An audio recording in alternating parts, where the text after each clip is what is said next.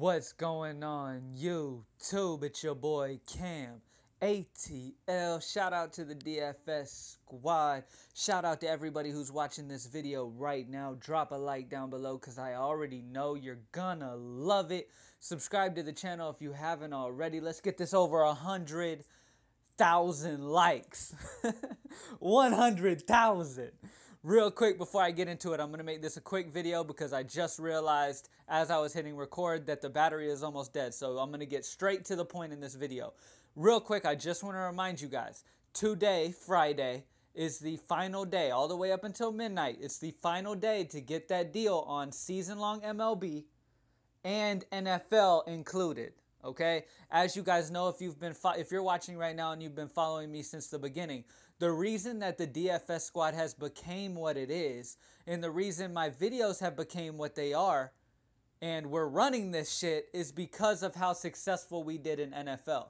I used to post my full videos in the lineups when I first started with NFL, and literally every week of the NFL season, we absolutely dominated. There were people sending me uh, photos of winning over a thousand with the lineup I posted on my YouTube videos. Like there was people who were winning a shit ton of money. So do not miss out on joining the squad because I you know as you know I don't fill entire lineups in the videos anymore. I just can't do it because I'm being watched. All right? But you can still join the squad and get this money with us. All right? NFL is going to be a whole separate thing when NFL starts and you're not going to want to pay separate every single day. It's just worth it to go ahead and get ML. MLB is a taxing season too, because it's one of those seasons where you really have to put in.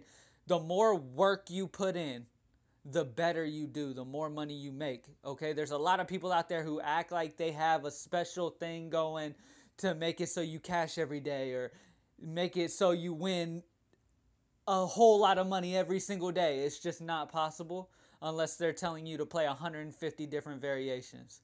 That's the only that's the only secret to winning every single night. A lot of money is by playing like 150 variations and becoming a shark. The just like in life, the more work you put into something, the more you get out of it. And that's the same way DFS is. The more work you put in, the more you get out. Now, I put all that work in. You guys can go to your jobs and do your thing. Join the squad. Go to greenlightdfs.com. You can join the season long deal there now. It doesn't say that NFL is included, but it is, okay? Until tonight, Friday night. Okay, you guys have until Friday night at midnight. I guess that's Saturday morning, but you have until then to join that season long deal or it is gone. Okay? That is it. I'm not bringing it back this time. I brought it back this last time just because people were still asking me, but that it will not be back anymore. Okay? We make way too much money in NFL for me to be giving such a discounted price on how much money we're going to be making. Okay? So get on that, guys. Let's get straight into the high five. Man, I'm hype about it, but I got to zoom through it. All right? First picture that I'm going to go with Corey Kluber. He's just he's just the best option on this board here. He's going against a White Sox team that we just saw what Odorizzi did. I'm not sure. I know I'm saying his name wrong. I always get it wrong, and it's not clicking in my head how to say it. But you know who I'm talking about, Jake. All right. We saw what he did against White Sox. He did very well for a while. He gave up some runs at the end there, but he got a good amount. Of, I believe he got eight strikeouts. If if he if Jake can get eight strikeouts, Kluber's definitely got that 10 plus potential here. Uh, uh, Jake got 20 plus DraftKings points against them. I see Corey Kluber getting about 30 to 35, if not more than that. Okay, so Corey is the best option on this slate. He is locked in the high five at 12 6. Next pitcher that I absolutely love, and I have to apologize because the last time I talked about this guy, I made fun of his name, saying that he sucked because his last name was Peacock. Anybody by the name of Peacock sucks. I'm very sorry and I have to apologize. He watched that video and he was like, you know what? Fuck you, Cam. I'm going to go out here and start dominating. This dude's been pitching ever since he became a starter, all right? He was always a relief. When he became a starter and he's been getting consistent minutes, I mean, not minutes, I'm thinking it's basketball, consistent innings all right, he has been very, very, very solid. Very good strikeout upside. He has been absolutely dominant, and he's been uh, just never mind. And he is in Houston, which is very, very pitcher friendly. I love Brad Peacock, and I love Houston to get the win here against Shoemaker, which is why I am picking him as well. Both of our pitchers are at home.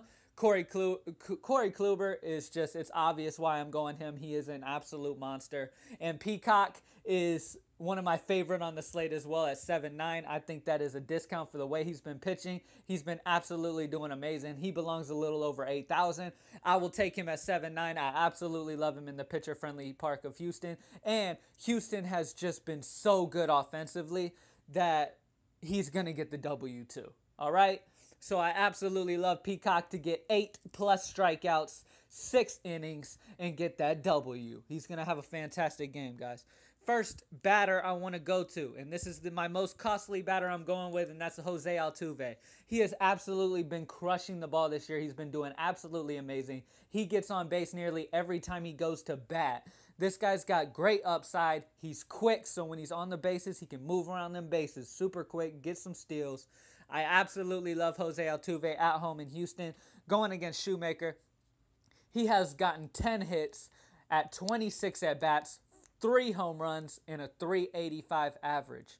All right, the fact he has three home runs against him and Altuve isn't known to be a home run guy, the fact he's got three home runs against him is a very good thing. And I also believe he has only been struck out one time by him in his career all right, out of all those at bats. So I absolutely love Altuve, man. I definitely expect him to get on base multiple times here in Houston and give our boy Peacock some run support. All right, now going to the outfield. I've got a few cheaper guys that we got to go with because you know we're, we're paying up for our pitchers. Lonnie Chisenhall is my favorite play of the day here, man. He always starts versus righties well, majority of the time he'll start versus righties. Maybe he's sick sometimes, so he doesn't. But majority of the times he starts against righties, and he gets the pleasure of going against Gonzalez, who has been giving up a lot of hard contact, a lot of home runs. This guy has been getting shelled. Okay, I absolutely love Lonnie Chisenhall. He's got awesome power through his career against Gonzalez. He's in a perfect position already, but through his career, his BVP 13 at bats, six hits, one home run, and a 462 batting average. I love Lonnie Chisenhall at 4,000. I will take it, and I'm very happy with it. Now, an offense that I always target when they are at home, and I got to go with the cheaper option of all of them, Gregor Blanco. This guy's got some good upside for a guy that's only 3,400, and he leads off for an offense that is absolutely dominant at home in Arizona. They are not going against a great pitcher here. Davies has his moments. He's had a few moments throughout the year, literally like two moments where he actually was good in Arizona where it's hot and very hitter friendly, Davies has no shot whatsoever. And there are a lot of Arizona batters that have hit very well against him. I love stacking this Arizona offense as always. Gregor Blanco always starts lead off against right handed. I absolutely love Gregor Blanco, the lefty. Um, he's gone against him one time in his career, okay? And that was about a month ago. He went against him. He got like 22 DraftKings points.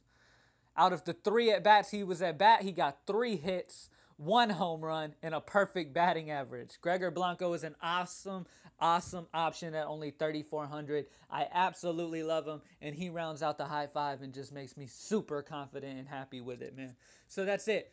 Corey Kluber. Oh, shit, my bad. Corey Kluber, Brad Peacock, Jose Altuve, Lonnie Chisenhall, and Gregor Blanco. Okay? That is the high five, guys. You know what time it is. Time for the batting. Uh, whatever I call it. Fucking, I'm forgetting it. I'm brainwashing. but you guys know what time it is, man. So get out your pen, your pencils, and I am going to give you guys. Oh, it's the batter's box. There we go. I just remembered. Okay. I'm going to give you guys the, the best batters to go with, okay? All of these guys, th- these are not small sample size. All of them are 10 or more at bats, okay? So these are very solid uh, ratios here for the BVP, okay? Now, to start off, Jonathan Lucroy, Anthony Rendon, Hanley Ramirez, Pablo Sandoval, Michael Brantley, Chisenhall, Encarnacion, Carlos Santana. I love the Cleveland stack against Miguel Gonzalez. That might be my favorite stack of the day here with Cleveland at home, going against a pitcher that's been giving up a shit of hard contact. All right, a lot of fly ball. He gives up a lot of fly balls, and those turn into home runs. All right, Cleveland is a hitter-friendly ballpark. I love Cleveland stack. Jose Abreu has done solid against Kluber. Uh, you got Jed Lowrie, Matt Kemp, Asdrubal Cabrera, Lucas Duda, Brett Gardner, Jose Altuve, our high five boy, Jake Marisnick. Uh, I like him a lot too. Albert Pujols and Denard Span. I love Span here. All right, he's lefty going against righty, and he has a good history against Ervin Santana. Now, you got to keep in mind though, okay? This is throughout his career. All right, his speed has significantly dropped. He's not as quick. He doesn't steal bases like that anymore, and his power has dropped off. But he all, he definitely puts the bat on the ball against Santana. Out of the 36 times he's seen Santana, he has 14 hits, one home run, and a 389 batting average, and he's fairly cheap. Okay, and he leads off. All right, those are two pluses. All right. There it is, guys. That's the batter's box. Good luck, everybody. I hope you kill it. Don't forget to join the season long membership, greenlightdfs.com. Don't forget it, man. I'm mainly bringing this up to you guys because I won't be bringing it up again. And I know NFL is coming up. And trust me, you want to be a part of this. All right. DFS squad is what it is because of our NFL success. All right. NFL, I know NFL more than I know myself. All right. Trust me. Hop on. I got you. All right. Thank you guys for watching. I hope you kill it. Run this high five. Put some other little value guys around. Go watch my boy Von Harris. See what he's talking about. And let's get this money, guys. I'm out. Like the video down below. Subscribe to the channel if you haven't already. I'm gone.